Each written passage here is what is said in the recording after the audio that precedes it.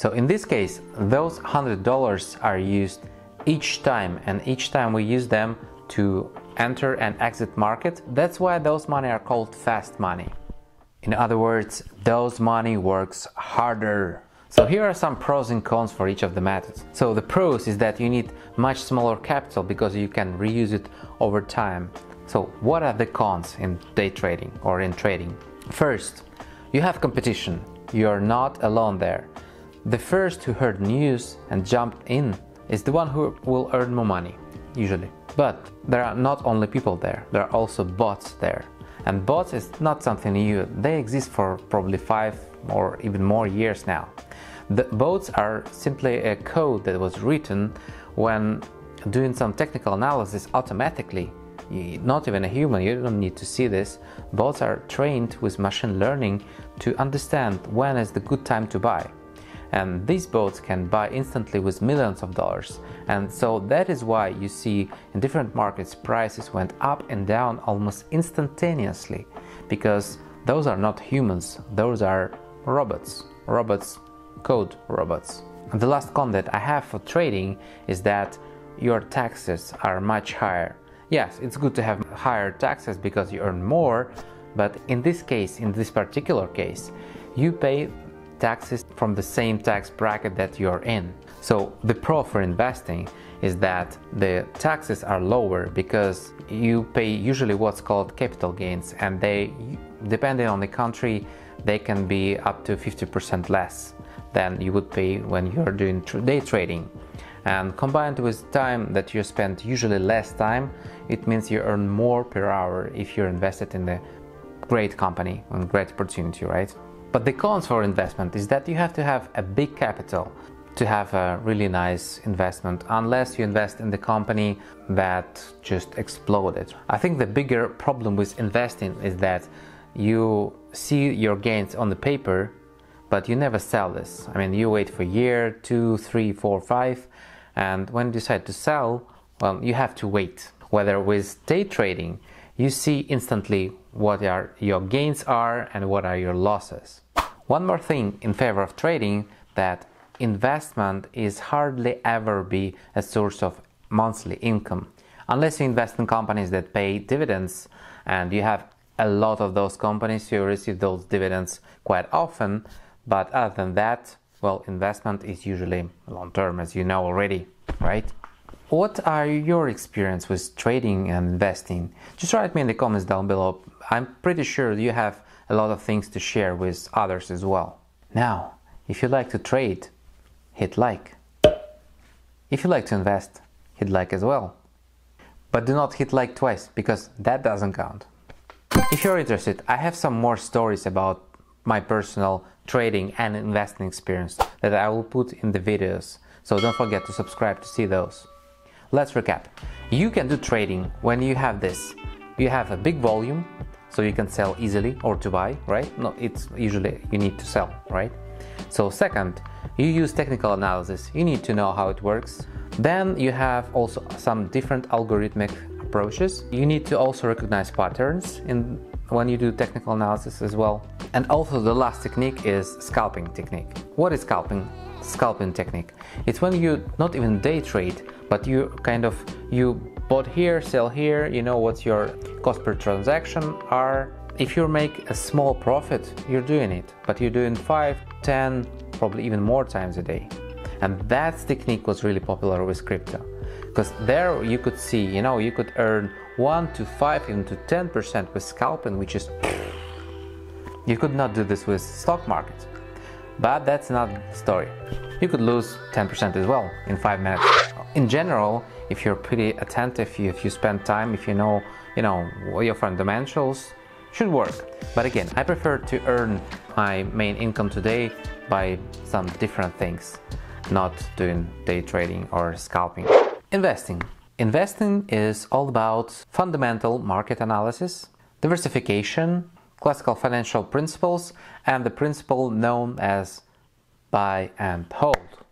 And usually when you do an investment like this, you probably invest in the business that you understand specifics of. For example, myself, being developer, I can understand of how IT business works. And that's where it's interesting for me to invest as well. Or if you simply don't want to waste your time, just invest in ETF. Yeah, check out my video here about ETF. If you don't know what that is, that's pretty interesting possibility as well that stock market offers. What is more interesting is that you need to smash that like button. I do believe that all my free money should be invested because that's the way how they can grow because otherwise what money is money by default is inflationary this means money lose value over time so you have to invest them somewhere to, so you get this interest or do you just earn more money with the money you have. Otherwise if you it's just sitting in your account well it's just disappearing but you didn't notice it because the number still the same. But what's changed is the price. Usually traders are skilled technical people who understand how trends work they understand market psychology and they try to take maximum of profits out of these fluctuations as for investors, it's a bit different. Well, it's good that you have the knowledge of how market psychology works in general, right? But that's not what you're looking at specifically. You're looking at fundamentals of any company, whether it's interesting to buy or not. That's why, for example, usually those IT companies are trading with really high P ratio because, well, a lot of people expect future gains. One important thing that Peter Thiel one of the founder of PayPal said one day is that, and I think it was in his book One, by the way, I highly recommend From Zero to One, brilliant book. It takes time for a company, even a great company, to get from the point where we have the technology, even though this technology can work, but still need time for people to, to use it, right? And it doesn't happen overnight. That is why we need to wait. This wait time can be up to 10 years. But so you understand, PayPal, for example, in 2000, when everything was booming in IT industry, PayPal had this high P ratio, but finally, if you're investing PayPal at that time, you won't be disappointed today, as you understand. So as for the investors, they understand how businesses are run and managed. What is important when you invest in a company even though the, there might be some fluctuation due to a crisis or some other event. But finally, if all things are fine, this should explode in some time from now. But it takes years.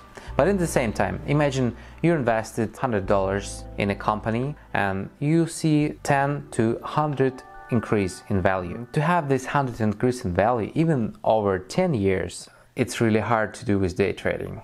And especially when you invest in something, again, you spend much less time.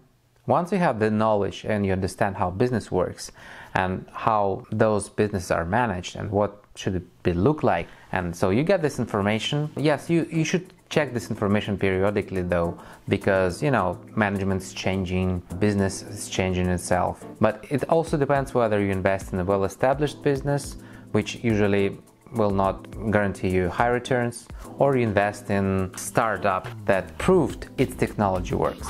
So for traders, if you miss the right time to sell, you can trade for a loss in a day because you need to close before the end of the day. Because during the non-trading time, things could change and you don't want to take that risk because you're taking this particular stock not because of its value over long term, but because of different external things that can impact price. So you don't want to be in this particular stock for too long. And investors, they keep themselves away from trends. They only do investing in value. So they patiently wait until the stock reaches the high which corresponds to their financial goals. At the end of the day, the ones who achieve their financial goal can be called successful. And that's what's the most important, right? If you set your goal, you want to achieve this by trading or investing, and that suits your lifestyle, go ahead. So you have to decide yourself. But that's not all. If you choose one or the other, if you choose to invest or to trade, never mind, but what is important is to stick to it and try to develop the skills because skills come over time but that time will pay you off and with great interests literally I personally think that investing with trading, I choose investing for myself. But in the same time, investing can be totally different as well. You invest for long terms, yes, but the types of investing are different as well. And please subscribe to see my future videos what the difference are. And I will set up a really interesting experiment where you can earn more by applying one or the other types of investment. So keep you posted, but don't forget to subscribe. I hope that volatility that you can experience in your life will only bring your high profits. And that's it. See you. Bye.